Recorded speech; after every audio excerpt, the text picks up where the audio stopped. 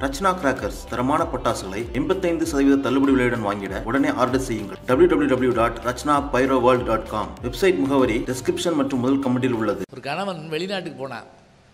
ரொம்ப நாளைக்கு முதல்ல. அழகான பறவைகளை பார்த்தான். அப்படியே வாங்கி ஒரு கூண்டு நிறைய மனைவிக்கு அனுப்புனான். கப்பலில். அம்- அந்த காதல் பறவைகள் லவ் பேர்ட்ஸ் மனைவிக்கு ஞாபகம் வந்துருச்சு அனுப்பிட்டான் வாங்கி. ஒரு மாதம் கழித்து கடிதம் எழுதிட்டான். அந்த பறவைகள் எப்படி இருக்கின்றன? அப்படி எழுதுனா. அவ பதிலுக்கு எழுதினா ருசியா இருந்தன அப்படின்னு எழுதிட்டா. அவன் அதை வழக்க சொல்லி கொடுத்தா வறுத்துட்டு அவ. ஒன்று ரசிக்கிறது இப்படித்தான் ரசிப்பாங்களா? வாங்கி பார்க்கணுங்க. சாப்பிட்றப்ப கூட ரசித்து சாப்பிடணும். சில பேர் சாப்பிட்றத பார்த்தா நமக்கு பயமாக இருக்கும். இந்த கல்யாண வீடுகள்லாம் சில பேர் நம்ம இலைக்கு வந்துடுவாங்களோன்னு பயமாக இருக்கும் பார்த்துருக்கீங்களா? எல்லை மீறிய பயங்கரவாதம் பாங்கி இங்கேருந்து அங்கே அங்கேருந்து இங்கே. போ- ம், போயிட்டு வர்றது ஒரு அம்மா பக்கத்து வீட்டுக்கார மாதிரி உங்கள் வீட்டுக்காரர் என்ன விரும்பி சாப்பிடுவாரு? அது எதை போட்டாலும் திங்கும். இப்படி ஒரு ஜென்மத்தை பார்த்துருக்குமா? ரசனை ரொம்ப முக்கியம். ஒரு ஊரில் பேச்சாளனை கட்டி போட்டிருக்காங்க. இனிமேல் நீ எங்கேயும் போய் பேசக்கூடாது. அவ்வளோ மோசம் பேசுகிறவன்டா ஒருத்தர் தற்கொலை பண்ணி சாக கடற்கரைக்கு ஓடிருக்கான் அந்நேரம் இப்படி ஒரு பேச்சை கேட்டான். அப்படி யூட்டர் அடித்து இப்படி வந்து உட்காந்துட்டான் நடுவரையை ஒத்து பார்த்துக்கிட்டே இருந்தான். அவர் பேசி முடிச்ச உடனே அவர் காலை தொட்டு கும்பிட்டான். தற்கொலை பண்ணி சாக தெரிஞ்சனியா? சாக தெரிஞ்சேன். உன் பேச்சை கேட்டு திரும்பி வந்துட்டேன். இவர் அவனை எந்திரிச்சு கட்டி பிடிச்சிக்கிட்டார். அவ்வளோ நல்லா பேசினா உன் தற்கொலையை தடுத்துட்டான்? ஏன் திரும்பி வந்தேன் நீ எல்லாம் உயிரோடு இருக்கப்ப நான் ஏன் ஜாகட்டும் அப்படின்னா? நீ பேச்சியே கொள்கிற நீ இருப்பலாம் ஜாவனா? அப்படி இருக்கக்கூடாது பேச்சு. திருநெல்வேலியில் ஒரு பட்டிமன்றம் பேசி முடிக்கிறாங்க. நைட்டு ஒன்றரை மணி. எல்லாரும் வந்து கையெழுத்து வாங்குறாங்க. ஒரு பெரியவர் வந்தாருங்க. கையில் ஒரு மஞ்சள் பை வச்சுருந்தாரு. இதா இப்படி என் முன்னாடி ஆட்டினார். காய்கறி வேண்ட சொன்னாங்க என்னைய போய். நான் வேறு திருவழியை போயிருக்கலாம். மணி ஒன்றரை. நீ எந்த கடையில் காய் இருக்கும்? நான் என்னைய திட்டுறாருன்னு நினச்சிக்கிட்டு இருக்கேங்க. அவர் சொல்கிறாரு ஏய் காய்கறி நாளைக்கு வாங்கலாம்யா. இந்த பேச்சு நாளைக்கு கிடைக்குமா? அதாங்க வேணும். ஒரு ஆச்சரியம் என்ன தெரியுங்களா? மூணு வருஷம் கழித்து அதே திருநெல்வேலியில் நான் போய் பேசுகிறப்ப இந்த செய்தியை சொல்கிறேங்க கீழே இருந்து எந்திரிச்சு அது நான் தான் அப்படிங்கிறாருங்க அவர். அதே பை வச்சிருந்தாரு. ரசனையாளர்களுக்கு ஆயுள் கூட. ஞாபகம் வச்சுக்கங்க நீங்கள் ரசித்து பழகுங்க.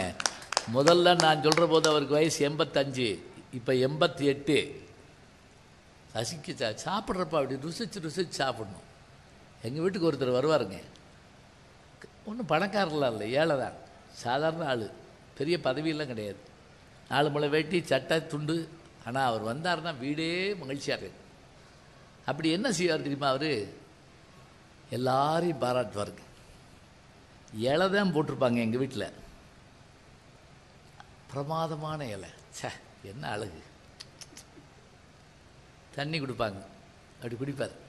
தேவாமிர்தம்பார் அது கார்ப்பரேஷன் தண்ணி. மூணு நாளைக்கு முதல்ல வந்தது. இட்லி வைப்பாங்க. மல்லிகைப்பூ பிச்சிப்பூ அரளிப்பூன்னு அதை சொல்லிக்கிட்டே இருப்பார். வேணும்னு இல்லைங்க. ரசித்து ருசித்து சாப்பிட்றப்ப அம்மா இன்னும் ரெண்டு இட்லி வைக்குமா எங்கள் வீட்டில் ஆறு இட்லி வைப்பாங்க. போகிறப்ப அப்படியே வாசல் வரைக்கும் கண்ணீர் விட்டுற அளவுக்கு அப்படியே போ பின்னாடி போய் கண்ணீர் எண்பது வயசுக்கு பெரியவர் கொ- வெளியே அடுத்த வட்டம் வந்துருங்கய்யா போகிறப்ப என்னையை பார்த்து வர சொல்லுவார். யார் அவர்? போயிட்டு வரையா சொன்ன உடனே எங்கள் வீட்டுக்காரம்மா சொல்லுவோம் பார்த்தீங்களா எப்படி பாராட்டுறாரு? நீங்கள் இருக்கீங்களே. நான் சொன்னேன் பாராட்டிட்டு அவர் போயிடுறாருல நான் இங்கேயே தானே இருக்கேன். அதுக்கு இல்லை அந்த பாராட்டுகிற இனிமை இருக்கு இல்லையா அவர் ரசித்து சாப்பிட்டார் ருசித்து சாப்பிட்டார். இப்போ நம்ம சாப்பிட்றப்ப டிவி பார்த்துக்கிட்டு சாப்பிட்றோம் செல் பார்த்துக்கிட்டு சாப்பிட்றோம் யார்கிட்டயாவது பேசிட்டு சாப்பிட்றோம். உப்புமா நல்லா இருக்குன்னு ஒருத்தன் அது இட்லி அப்படின்னு சொந்தம்மா அதான் இட்லி உப்புமாவாக இருக்கும் அப்படின்ட்டான். ஒரு பாட்டு கேட்குறப்ப ரசித்து கேட்கணுங்க அதான் உண்மை. சரி. நீங்கள் ரசித்து கேட்டால் தானே நாங்கள் பேச முடியும் நான் சொன்னல ஏன் தெரியுமா? ஒரு கூட்டத்துக்கு போயிருந்தோங்க. மூவாயிரம் பேருங்க. அப்படியே குப்பரப்பட்டு தூங்குறாங்க. அதில் பட்டி பண்ணுறோம் அதில் அந்த அம்மா வந்து கடைசி உள்ளத்தில் நல்ல உள்ளம் உறங்காதுன்னு பாடிக்கிட்டு இருக்கு. அதில் ஒருத்தர் எந்திரிச்சு பார்த்துவீங்க இன்னும் போலடாய் அப்படின்னா. அவன் எந்திரிச்சப்பெல்லாம் நாங்கள் உட்காந்துட்டு இருக்கோம் மலர்ந்த முகங்களை பார்க்குறப்ப சந்தோஷமாக இருக்கிறத பார்க்குறப்ப எவ்வளோ மகிழ்ச்சியாக இருக்குது இப்போ தீர்ப்பு எப்படி சொல்கிறது இலக்கியங்களை நாம் கற்பதனுடைய நோக்கம் என்ன?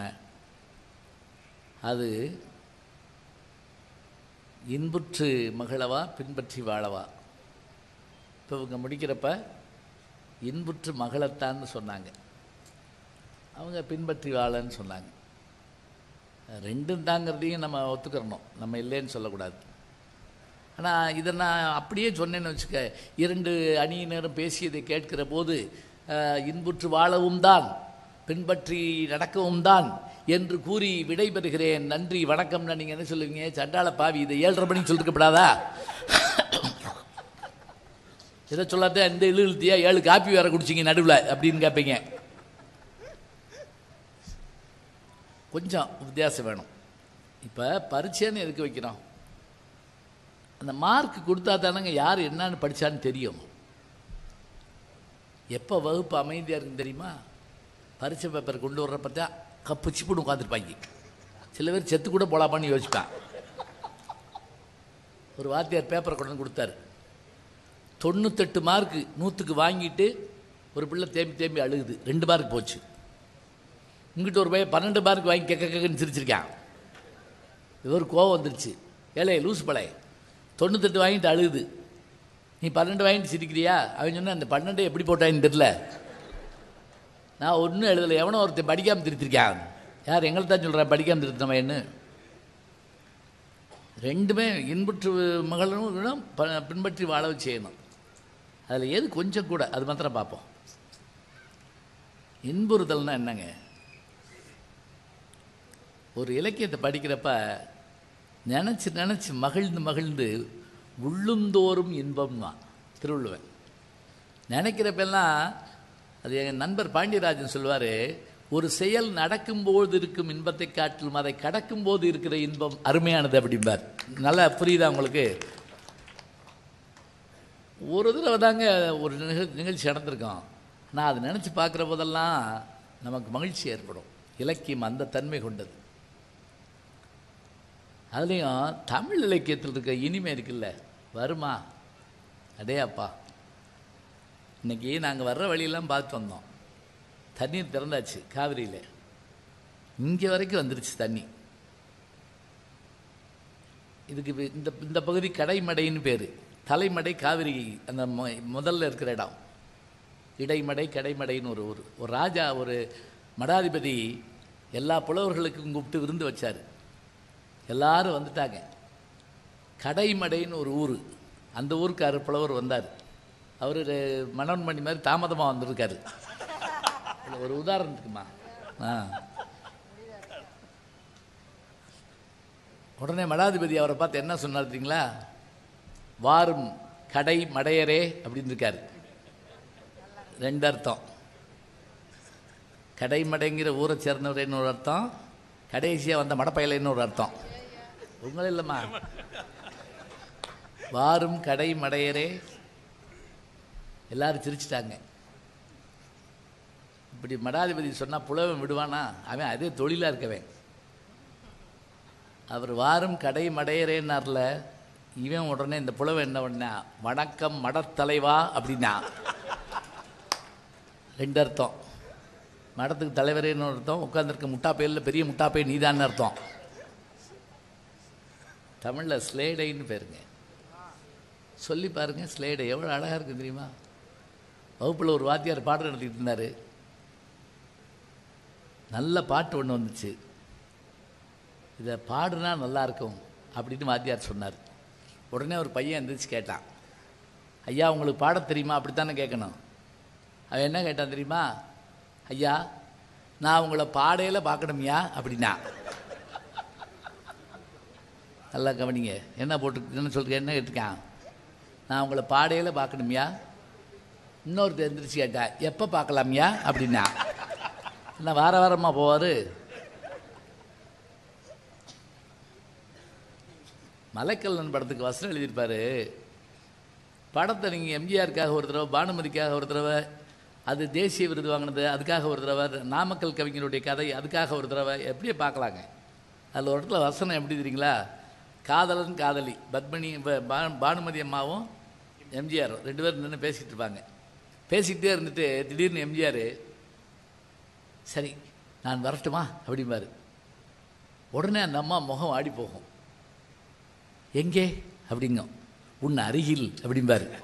அரட்டு மண்ணா இவர் காசிக்கு போக போகிறாருன்னு நினச்சிடக்கூடாது உன் அருகில். உடனே அந்த அம்மா சிரிச்சிடும் காதல் காட்சி எவ்வளோ நயமாக இருக்கு பாருங்க. சொல்கிற சொல்லில் இருக்கணுங்க அப்படியே அழகான விஷயம்.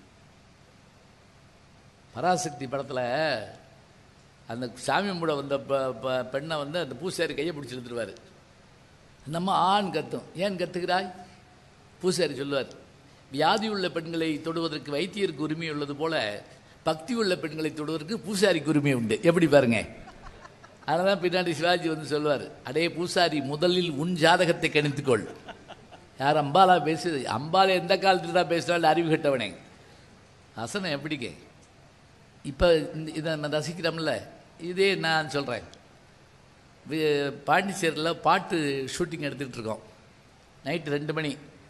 அந்த ரெண்டு மணிக்கு விஜய் சேதுபதி என்கிட்ட வந்து அம்மா பேசுகிறேன் சொல்லுங்கள் விஜய் சேதுபதி என்கிட்ட வந்து நான் ஒரு திருக்குறள் கேட்கணும். இது வரைக்கும் நான் கேட்காத திருக்குறளாக இருக்கணும். சொல்லுங்கள் அப்படின்னாரு. சரி நான் சொல்கிறேன் அப்படின்ட்டு நான் திருக்குறள் சொல்ல ஆரம்பிச்சு சொன்னேங்க. அது ஒரு கோயிலில் நடந்தது. ஒரு நிமிஷத்தில் அந்த ஷூட்டிங்கில் இருந்த அத்தனை பேர் வந்துட்டாங்க. அவங்களுக்கெல்லாம் இந்த துறை இல்லை. ஆனால் திருக்குறள் வந்து அப்படி இருக்குது. நைட் ரெண்டு மணி. டான்ஸ் ஆடிக்கிட்டு இருக்காங்க அந்த பக்கம். சும்மா உட்காந்துருக்க ஆட்களை வச்சு எடுக்கிறோம் அப்போ நான் அவர் சொல்கிறாரு அகர முதல் எழுத்தெல்லாம் அந்த மாதிரி திருக்குறள்லாம் சொல்லக்கூடாது. நான் இது வரைக்கும் கேட்டிருக்காது திருக்குறள் சொல்லணும் அப்படின்னு. சரி நான் சொன்னேன். நம்ம உடம்புல உடைக்க முடியாத எலும்புன்னு ஒன்று இருக்குது தெரியுமா அப்படின்னு கேட்டேன். தெரியலையே அப்படின்னாரு. சொல்லிட்டு தெரியலையே அப்படின்னாரு. அந்த எலும்பு தான் அப்படின்னு நான் சொன்னேன். இந்த இடத்துல தாடை எலும்பு. நம்ம உடம்புல உடைக்க முடியாத எலும்பு தாடை எலும்பு. திருவள்ளுவர் சொல்கிறாரு சிலர் கஞ்சப்பயலாக இருப்பான். யாருக்கு எதுவும் கொடுக்க மாட்டான். எச்சிக்கையில் காக்கா ஓட்ட மாட்டான். ஏன்னா எச்சிக்கையில் ஓட்டினா காக்கா சு அப்படின்னா அதில் பருக்க ஓடி போய் அதில் விழுந்துருமான் காக்கா தின்றுமான் அதனால் கையை கழுவிட்டு காக்கா ஓட்டுவானான் எப்படி பாருங்க? எச்சிக்கையில் காக்கா ஓட்டாத கஞ்சன் அப்படி ஆள்கிட்ட நீ பணம் வாங்கணும்னு நினச்சேன்னா பணம் வாங்கணும்னு நினச்சேன்னா செல்வத்தை வாங்கணும்னு நினச்சேன்னா அவன் தாடை எழுப்பு உடடா அப்படிங்கிறார் திருவள்ளுவர். நல்லா ஞாபகம் வச்சுக்கோங்க. அன்புடைமை எழுதின திருவள்ளுவர். அருளுடைமை எழுதின திருவள்ளுவர் சொல்கிறாரு உடம்புல உடைக்க முடியாத எலும்பு தாடை எலும்பு அந்த தாடை எலும்பை நீ கையை வளைச்சிக்கிட்டு ஒரு குத்து குத்துறேன்னு வச்சுக்கோ அதை உடைச்சேன்னா அந்த பைய கொடுப்பான்டா. ஈர்ங்கை விதிரார் கயவர் கொடிர் உடைக்கும் கூண்கை அல்லாதவர்க்கு நீங்கள் மாஸ்டர் படத்தில் அப்படி கையை மடக்கிட்டு ஒரு குத்து விடுவீங்க பாருங்கன்னு நான் சொன்னேன்ல. எந்திரிச்சு வந்து என்னை கட்டி பிடிச்சிக்கிட்டாருங்க அப்படியே. ஆச்சரியப்பட்டு போனார் அப்படியே. இப்படி இந்த திருக்குறள்லாம் இதில் இருக்கா? இதில் எத்தனை பேர் கேள்விப்பட்டிருக்கீங்க சொல்லுங்க பார்ப்போம் வாய்ப்பே கிடையாது. நமக்கு அது அந்த சப்ஜெக்டே வராது. இழுக்கணும் அப்படியே. கவிதைக்குரிய அழகு என்ன அப்படின்னா இன்புற வைக்கணும். மகிழ வைக்கணும். நெகிழ வைக்கணும். அப்போ தான் அது சிறப்பாக இருக்கும். ஊய சாமிநாத ஐயர் அவருக்கு என்னங்க ஒன்றுமில்ல கும்பகோணத்தில் வேலை பார்த்தாரு சம்பளம் கொடுத்தாங்க அவ்வளோதான் ஆனால் சனி ஞாயிறு பூரா போய் மாட்டு வண்டியில் நடந்து இதில் குதிரை வண்டியில் அவர் போய் போய் போய் போய் தேடின ஏடு தேடினதுக்கே அதில் ஒரு செய்தி சொல்கிறாருங்க ஒரு புலவர் என்ன பண்ணாரா மிதலைப்பட்டின்னு ஒரு ஊர் திருமயம் பக்கத்தில். அந்த ஊருக்கு போகிறதுக்கு என்ன பண்ணியிருக்காரு திருமயத்தில் இறங்கி மிதலைப்பட்டிக்கு போகணும்னு போனோம்னா மாட்டு வண்டி இருக்குது ஒத்த மாட்டு வண்டி. அந்த வண்டிக்காரரை கூப்பிட்டு ஐயா என்னை கொண்டு அங்கே விட முடியுமா? ஒரு பணம் கொடுப்பியா? அப்படின்னு அவர் கேட்டுக்கார் வண்டிக்காரர். ஒரு பணம் ஒரு பணம்னா எவ்வளோ தெரியுங்களா நூற்றி தொண்ணூற்றி ரெண்டு பைசா. பெரியவங்களுக்கு தெரியும் பதினாறு ஆனால் அந்த காலத்தில். பதினாறு நூற்றி தொண்ணூற்றி ரெண்டு பைசா ஒரு ரூபா. ஒரு ரூபா இருந்தால் ஒரு குடும்பம் ஒரு மா- ஒரு ஒரு வாரத்துக்கு பிழைக்கலாம். அப்படி வச்சுக்கோங்க. இப்போ இவர் உடனே பு புலவர் சொன்னார் கவலைப்படாதப்பா. என்னை கொண்டு இறக்கி விட்றேல்ல அந்த புல இப்போ கோடீஸ்வரம் வீட்டில் உனக்கு வாங்கி தர்றேன். என்னை கூப்பிட்டு போ. சரி இறக்குங்க. ஏறிக்கிட்டார். நிலா வெளிச்சத்தில் ஒத்த மாட்டு வண்டி போகுது. அப்போ அந்த வண்டிக்காரர் இவரை கேட்டார் ஐயா உங்களை பார்த்தா எந்த ஊர் பக்கம் தெரிய மாதிரி தெரியலையே. எந்த ஊருக்காரர் நீங்கள் இங்கேயே வந்தீங்க. அது ஒன்றும் இல்லையா? நாங்கள் புலவர் வம்சத்தை சேர்ந்தவங்க. எங்களையெல்லாம் வெங்கலப்ப நாயக்கர்னு ஒரு பெரிய ஜமீன்தார் ஆதரித்தார் சாப்பாடு கொடுத்தாரு வீடு கொடுத்தாரு ஸ்வ- பணம் கொடுத்தாரு. அந்த குடும்பம் இல்லை. அவர் இல்லை. அதனால எங்கள் குடும்பம்லாம் செதஞ்சு போச்சு. நான் என் குடும்பத்துக்காக பணம் கேட்டு இந்த பெரியவரை நோக்கி வர்றேன்.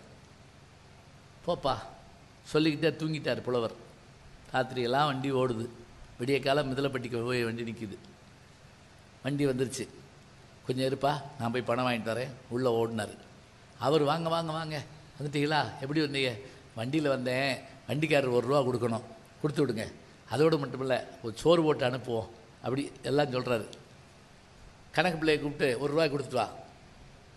ஒரு ரூபாய்க்கு கொண்டு போய் அவரு திரும்ப வந்துட்டாருங்க. அவர் வாங்க மாட்டேங்கிறாரு அப்படின்னாரு. உடனே புலவருக்கு சந்தேகம். காசு கூட கேட்குறானோ அப்படின்ட்டு மீட்டருக்கு மேலே போட்டு கொடுத்துருங்க பம்ல பின்னாடி எப்பா ஒரு ரூபா தானே பேசணும். நீ ஏன் வாங்க மாட்டேங்கிறேன் இல்லை வேண்டாம்.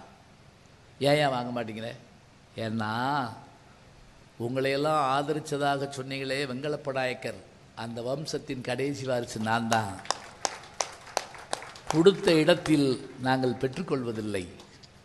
என்று சொல்லிவிட்டு பசியோடு கம்பீரமாக வண்டியை ஓட்டிச் சென்றார். பரம்பரை குணம். தலைப்பு பாருங்க. எப்படி வரும்? சித்திரமும் கைப்பழக்கம் செந்தமிழும் நாப்பழக்கம் வைத்ததொரு கல்வி மனப்பழக்கம் நித்தம் நடையும் நடைப்பழக்கம் நட்பும் தயையும் கொடையும் பிறவி குணம். அவையார் அது வரணுங்க. எதை படிக்கிற போதும் நமக்கு இன்பம் ஏற்படணும். மகிழ்ச்சி ஏற்படணும்.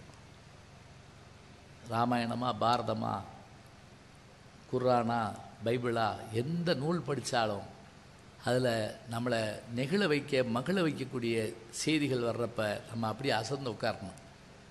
சினிமா பாட்டை பா பார்க்குறப்ப கூட எத்தனை சந்தோஷம் இருக்குங்க. ஒரு வரிக்காக கண்ணதாசன் ஒரு நாள் முழுக்க முழிச்சிருந்தாராமுங்க. படித்தால் மட்டும் போதுமான்னு ஒரு படம். அதில் அவர் வந்து அண்ணன் கெட்டவன் தம்பி நல்லவன். அண்ணன் கெட்டவன்னு தெரிஞ்ச பிறகு தம்பி வெறுக்க மாட்டேங்கிறான் இதுக்கு சூழலுக்கு பாட்டு எழுதி சொன்னாங்களாம் மூணு நாளாக போய் உட்காந்துருந்துருக்காரு பெங்களூரில். அவரும் கண்ண விஸ்வநாதனும். பாட்டே வர மாட்டேங்குது. அப்புறம் விஸ்வநாதனை கூப்பிட்டு கேட்டாராம் கண்ணாசன் இந்த ராஜாஜி ஒரு புஸ்தகம் எழுதினார்ல மகாபாரதத்தை இந்த புஸ்தகம் பேர் என்ன? அட போங்க மூணு நாளாக பாட்டு வரலன்னு நான் உட்காந்துக்கிட்டு இருக்கேன். ஏன்ட்ட போய் கேட்டுக்கிட்டு இருக்கீங்க? இரியா அப்படின்ட்டு டக்குன்னு ஃபோனை போட்டார். புஸ்தகம் பேர் என்ன? அது பேர் கண்ணன் காட்டிய வழி. அப்படியா? ரைட் எழுதிக்கோ. அண்ணன் காட்டிய வழியம்மா இது அன்பால் விளைந்த பழியம்மா. வந்துருச்சு பாட்டு. அப்புறம் கேட்டுக்குங்க அப்படியே மடம் மாதிரி அடிக்குதுங்க. தொட்டால் சுடுவது நெருப்பாகும். தொடாமல் சுடுவது சிரிப்பாகும். தெரிந்தே கெடுப்பது பகையாகும். தெரியாமல் கெடுப்பது உறவாகும். அவனை நினைத்தே நான் இருந்தேன். அவன் தன்னை நினைத்தே வாழ்ந்திருந்தான். இன்னும் அவனை மறக்கவில்லை. அவன் எத்தனை செய்தும் வெறுக்கவில்லை. அண்ணன் காட்டிய வழியம்மா இது அன்பால் விளைந்த பழியம்மா. ரசித்து பார்த்து கேட்டு மகிழ்ந்து இப்போ நான் சொன்ன உடனே இந்த பாட்டை கேட்கணும் போல இருக்கணும். அந்த கதையை படிக்கணும் போல இருக்கணும். நான் எல்லா கதையும் சொல்லிட்டு என்ன செய்யறீங்களா? கடைசியில் கிளைமா கிளைமாக்ஸ் சொல்ல மாட்டேன். போய் பாருங்கள் ஒரு தடவை கேளுங்க. பார்த்து வாங்க.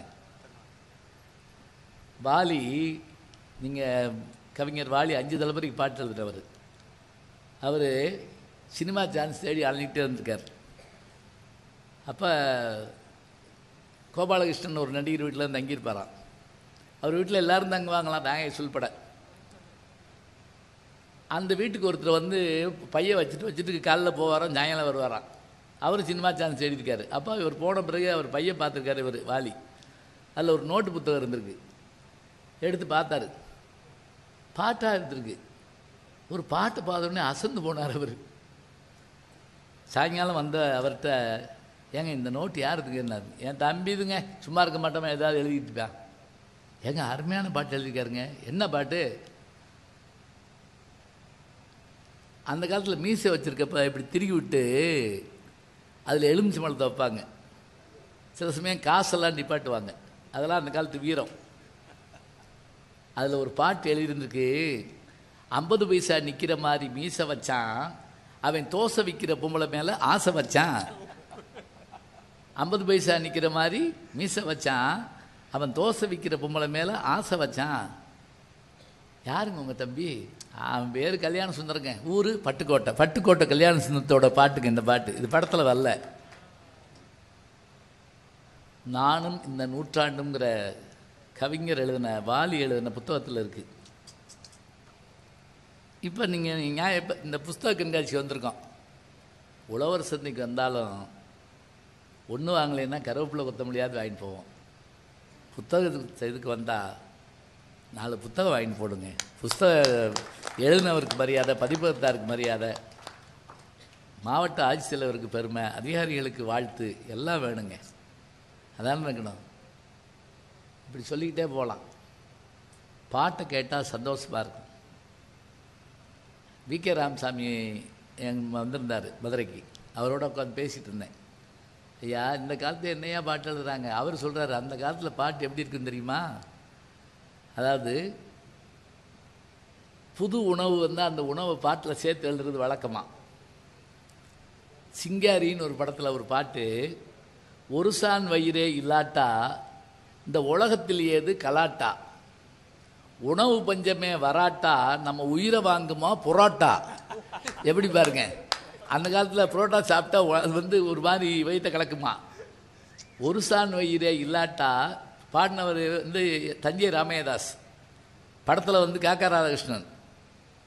சினிமா பாட்டெலாம் நம்ம நம்ம நம்ம சாதாரணம் சொல்லிட்டு போயிடுறோம்.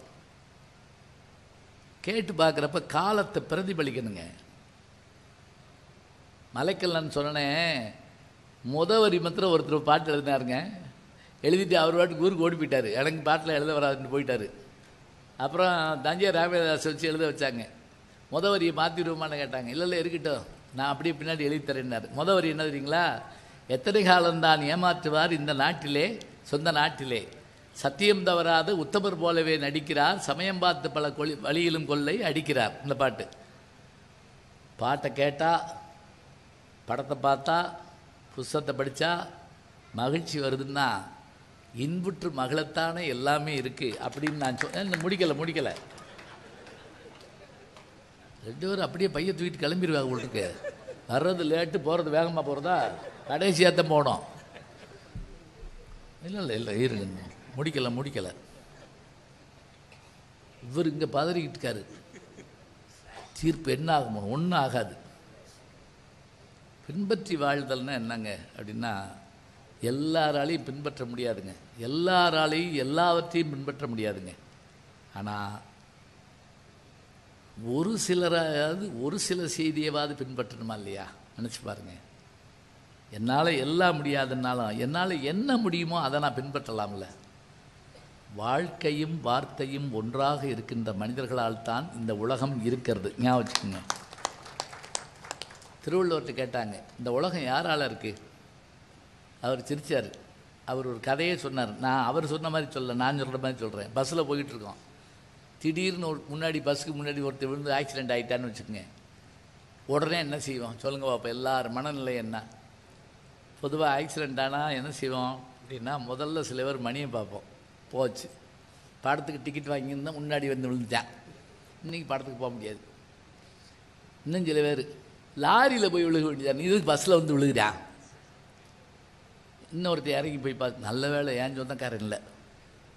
இன்னொருத்தன் இவன் இவனுக்கு வேணுமியா? இவன் தலகலாக விழுவான் இத்தனை பேருக்கு நடுவில் ஒரே ஒருத்தன் மட்டும் ஓடி போய் விழுந்தவனை தூக்கி ஆட்டோவில் போட்டு ஆஸ்பத்திரியில் கொண்டு போய் சேர்த்து முடிஞ்சால் சேர்ந்தா ரத்தம் கொடுத்துட்டு அவன் ஃபோன் நம்பரை எடுத்து அவங்க வீட்டுக்கு ஃபோன் பண்ணி நல்லாத்தான் இருக்காரு கவலைப்படாதீங்க. வர்ற வரைக்கும் நான் உட்காந்துருக்கேன்னு ஒருத்தன் சொல்கிறான்ல அவனால் தான் இந்த உலகம் இருக்கான். பண்புடையார் பட்டுண்டு உலகம். அது இன்றேல் மண்புக்கு மாய்வது மண். எல்லாத்தையும் எல்லாராலையும் செய்ய முடியாதுங்க. எனக்கு தெரியாதா? எ- எது முடியுமோ அதை செய். அதுக்காக தான் இவ்வளோ வரநூல்கள் வச்சுருக்காங்க. ஆத்தி சூடியில் சொன்ன அத்தனை செய்யம்ல ஒன்றையாக செய்வோம். அள்ளி கொடுத்து வாழ்பவர் நெஞ்சம் ஆனந்த பூந்தோட்டம். வாழ்வில் நல்லவர் என்றும் நலம் பெறுவார்.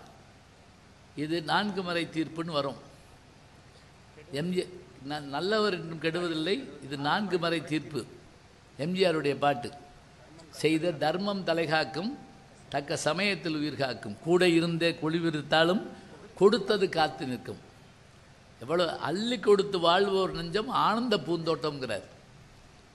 அவர் சினிமாவில் மட்டும் கொடுத்தார் நீங்கள் நினைக்காதீங்க. அவர் வாழ்க்கையிலே அப்படித்தான். பிஆர் பந்துன்னு ஒரு டைரக்டரு நிறைய சிவாஜி கணேசன் அவர்கள் வச்சு படம் எடுத்தார். கப்பலோட்டி தமிழன் கர்ணன் இதெல்லாம் எடுத்தார். எம்ஜிஆர் வச்சு படம் எடுக்கணும்னு அவருக்கு ஆசை வந்தது. ஆர்கே சண்முகம்னு ஒருத்தரை கூட்டிட்டு எம்ஜிஆரை போய் பார்க்க போனார். ஆயிரத்தி தொள்ளாயிரத்தி அறுபத்தஞ்சு நான் சொல்கிறது அப்போ எம்ஜிஆர்ட்ட கதை எம்ஜிஆர் என்ன பண்ணார்? கதை கேட்டார். என்ன கதைன்னு? ஆர்கே சண்முகம் கதையை சொன்னார். எம்ஜிஆருக்கு பிடிச்சி போச்சு. என்ன பேர் வைக்கலாம்னு கேட்டிருக்காரு. உடனே அவர் சொன்னார் ஆயிரத்தில் ஒருவன் அப்படின்னாரு. எம்ஜிஆருக்கு சந்தோஷம் தாங்க முடியலங்க. டக்குன்னு ஜிப்பா பைக்கில் கையை விட்டாருங்க.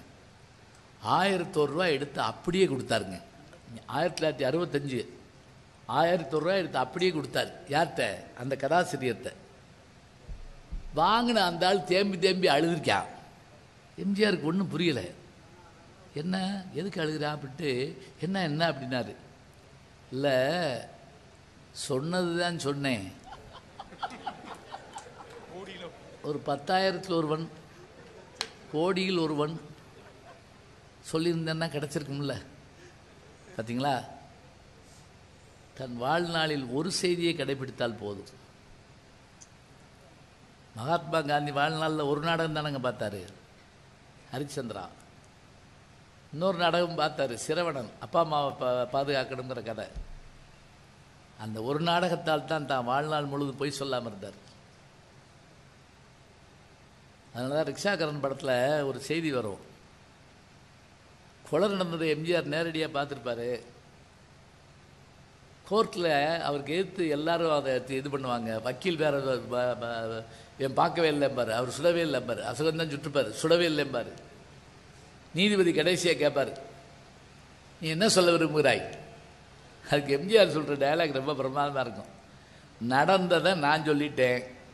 நடக்காததெல்லாம் உங்கள் வக்கீல் சொல்லிட்டாரு. இனிமேல் நடக்க போகிறத நீங்கள் சொல்லுங்க. அப்படிம்பார். அவ்வளோதான் அது மட்டும் இல்லைங்க. பின்னாடி ஒரு இடத்துல மேஜர் சுந்தராஜ் தான் நீதிபதியாக இருப்பார் அவர்கிட்ட போய் கேட்பார். அன்னைக்கு அவன் குலகாரன் தெரிஞ்ச பிறகு கூட நீங்கள் ஏன் அவனுக்கு தண்டனை கொடுக்கலன்னு கேட்பார் எம்ஜிஆர் போய். ரிக்ஷாக்காரன் படம். இதெல்லாம் நீங்கள் நினச்சி பாருங்க. படத்தை பொழுதுபோக்காக பார்க்குறோம்னு நினைக்கிறது இல்லைங்க. போகிற போக்கில் பார்க்குறது இல்லை. அதுக்கு அவர் சொல்வார் என் சூழ்நிலை அப்படி. அப்படி சொல்லாதீங்க. காந்தியடிகள்கிட்ட ஒரு குலகாரம் போய் நான் செஞ்ச கொலை இல்லைன்னு சொல்கிறதுக்கு நீங்கள் சட்டப்படி வாதாடணும்னு கேட்டார். அது காந்தியடிகள் மறுத்தாராம். நான் படித்த சட்டம் உண்மையை காப்பாற்றதான் உனக்கு வந்து குலகாரனை நல்லவனாக்கிறதுக்கா? இல்லை நான் வரமாட்டேன்ட்டாருன்னு. அதுக்கு அவர் கேட்பார் எல்லாரும் மகாத்மா ஆக முடியுமா? அப்படிம்பார். அதுக்கு எம்ஜிஆர் போகிற போக்கில் சொல்லிட்டு போவாருங்க. மகாத்மா வேணாம். மனுஷனாகலாம்ல? அப்படிம்பார். மனிதனாக வாழ்ந்திட வேண்டும். மனதில் வையடா. வளர்ந்து வரும் உலகத்துக்கே நீ வலது கையடா. தனி உடைமை கொடுமைகள் தீர தொண்டு செய்யடா. தானா எல்லாம் மாறும் என்பது பழைய பொய்யடா பட்டுக்கோட்டை பாட்டு.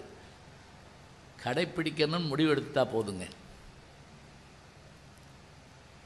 ஒரு மாடு மேய்க்கிறவர் பாவம் படிக்காதவர் தினம் இதுக்கு போயிடுவார் எங்கே?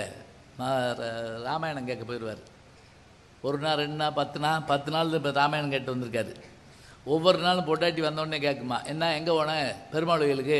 என்ன கேட்டேன் ராமாயணம்? என்ன சொன்னாங்க? தெரியாது. கொன்று உள்ளாம் போல வரும் அந்த அம்மாவுக்கு புருஷன் என்ன செய்யறது? ஒரு அம்மா புருஷனை கட்டையில் அடிச்சிருக்கு.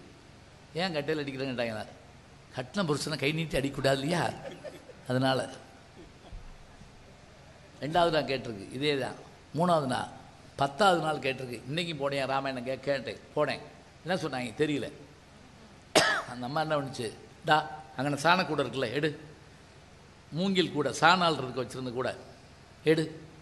அதில் போய் அந்த சிமெண்ட் தொட்டியில் தண்ணி மோத்துவா இவன் முழிச்சான் சாணக்குடியில் போய் இப்படி தண்ணி போக முடியும்? ஏன்னா அது ஓட்ட ஓட்டையாக இருக்கும். போய் மோந்துட்டு வா போ. இவன் போய் தண்ணி அள்ளியிருக்கேன். வந்தேன் ஒரு தண்ணி இல்லை. ரெண்டாவது இன்னும் இன்னொரு இருக்கப்போ இன்னொரு இருக்கப்போ இன்னொரு இருக்கப்போ பத்து தடவை போயிருக்காங்க. பத்து தடவையும் தண்ணி அள்ள முடியல. அந்த அம்மா சொல்லுச்சு இதுதான் நீ ராமாயணம் கேட்ட லட்சணம். எல்லாத்தையும் அங்கேயே விட்டுட்டு வெறுங்கூடியாக வந்திருக்க. அதுக்கு அந்த படிக்காதவன் சொன்னா உண்மைதான். நான் பத்து தடவை இதில் தண்ணி கொண்டு வரல உண்மைதான். ஆனால் முதல் தடவை நான் கொண்டு போனப்போ இதில் சாணியும் அழுக்கும் இருந்துச்சு. பத்தாவது தடவை நான் தண்ணி மோக்க போனப்போ இந்த கூடை சுத்தமாயிருச்சு அதுபோல் என்னை அறியாமல் என் மனசு சுத்தமாகினதுக்கு இந்த இலக்கியங்கள் காரணம்னு சொன்னால் நாம் படிக்க படிக்க படிக்க தினம் தானங்க பல் தேய்க்கிறோம். போன மாதம் தேய்ச்சது அப்படின்னு யாராவது சொல்லுவானா?